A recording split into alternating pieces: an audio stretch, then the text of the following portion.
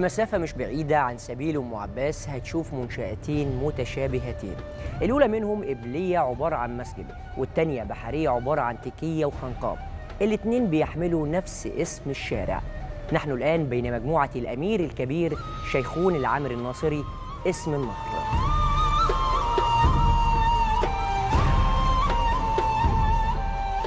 هي مجموعة مباني أثرية بناها الأمير شيخون العمري تشمل مسجد وحوض وخنقاء ولكن أطلق عليها مسجدي شيخون القبلي والبحري. القبلي منهما على اليسار. أنشئ مسجدا سنة 750 هجرية والأيمن البحري أنشئ كخنقال الصوفية سنة 756 هجرية وفيها دفن الأمير.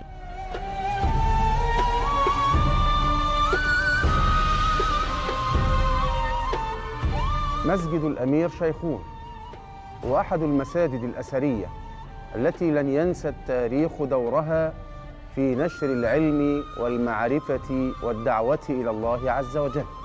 أما الخانقة التي تجاور المسجد فقد شيدها الأمير شيخون بعد بناء المسجد بخمس سنوات لتكون سكنا لطلاب العلم ودارا للصوفية يتعبدون فيها ويتقربون فيها إلى الله عز وجل.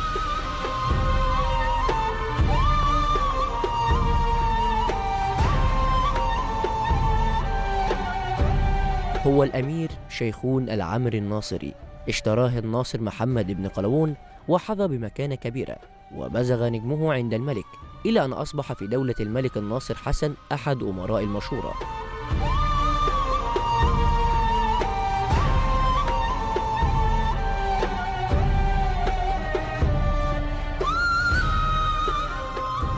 الأمير شيخه اشتراه الخواجة عمر أحد أعيان الدولة في عصر المماليك وباعه للملك الناصر محمد.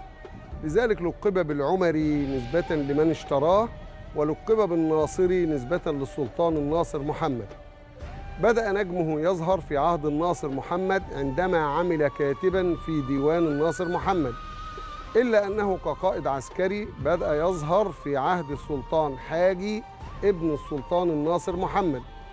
وترقى في درجات السلم العسكري حتى صار أتابك العسكر أي قائد للعسكر. وهو أول من لقب بالأمير الكبير نظرا لازدياد نفوذه.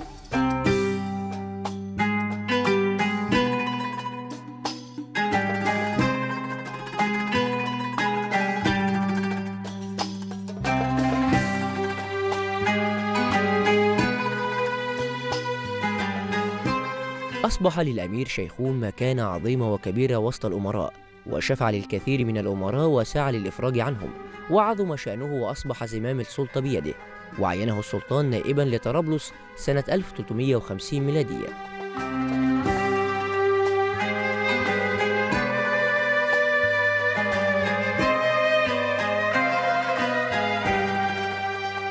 في سنة 755 حدث خلاف بين السلطان الصالح وبين الأمير شيخه فقام بعزله وأعاد السلطان حسن مرة أخرى إلى حكم مصر سنة 755 وفي هذه الفترة تحديدا بدأ الأمير شيخه يهتم بالعمارة الإسلامية.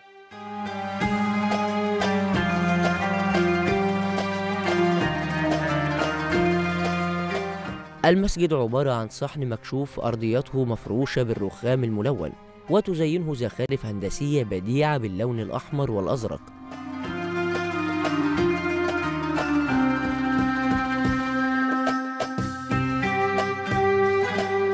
الموقع بيتميز بروعة التصميم المطعم بالزجاج والخشب والرخام واللي طاغي بشكل كبير على الجدران وعلى الأعمدة والأروقة المختلفة. أما عن رواق القبلة بيتصدره محراب كبير مجوف بجواره منبر من الرخام بالإضافة إلى دكة المبلغ وهي من الحجر ترتكز على أعمدة بالرخام. يتوج المدخل بعقد مقرنص ودليات أما صحن الجامع مكسو بالرخام الملون في وسطه الميضأة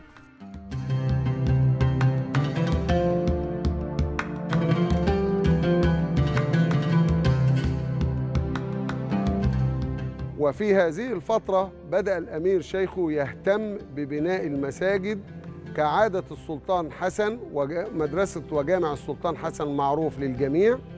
فسار على نهج السلطان عندما قام ببناء عدد من الأبنية الإسلامية يأتي على رأسها أولا المسجد ثم بعد ذلك بنى الخنقاه وبنى سبيل وغيرها من الأبنية.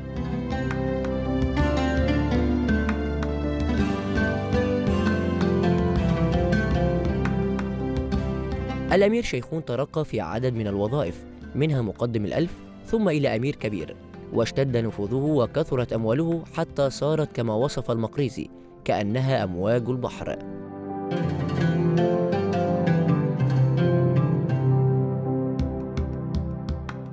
هذه الأماكن التي بناها كانت على الطراز الإسلامي المملوكي وأنفق عليها أموالا باهظة حتى أنها أنجزت في سنوات قليلة على غير العادة.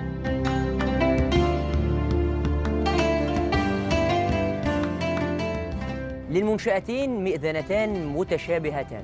تعلو المدخل مباشرة بثلاث أدوار كما هو حال أغلب المساجد المملوكية.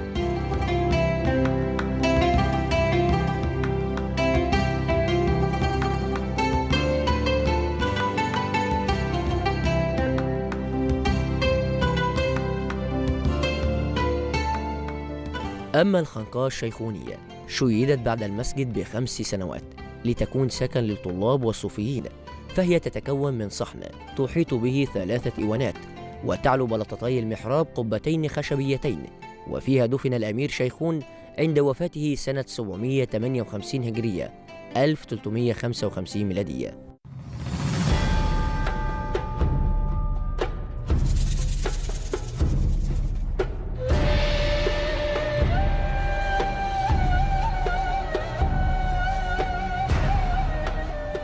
هذه المدرسة أو هذه الخانقة الشيخونية كان يدرس بها العلوم الشرعية كالقراءات القرآنية وكالفقه على المذاهب الأربعة كالتفسير وعلوم القرآن كالحديث النبوي الشريف وغير ذلك من العلوم الشرعية والعربية. هذه المدرسة كان يقوم بالتدريس فيها كبار علماء المسلمين. منهم شيخ الإسلام ابن حجر العسقلاني والإمام جلال الدين السيوطي وغيرهم رحم الله جميع علماء المسلمين.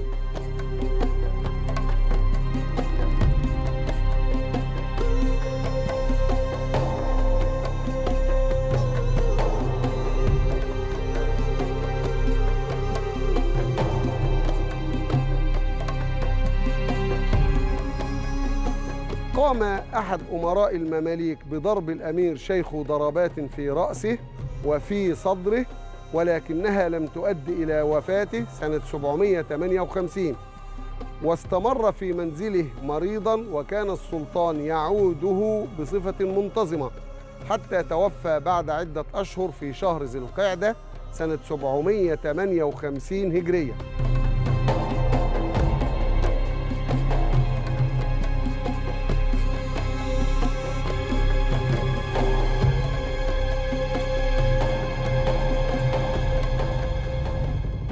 المسجد تم ترميمه وتجديده بعد احتراق القبة والسقف سنة 1517 أثناء اختباء السلطان الأشرف طومان باي بي بعد إحدى معاركه الأخيرة مع السلطان العثماني سليم الأول.